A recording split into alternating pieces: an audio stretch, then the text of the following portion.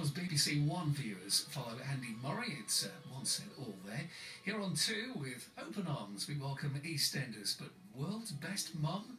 Not sure about that.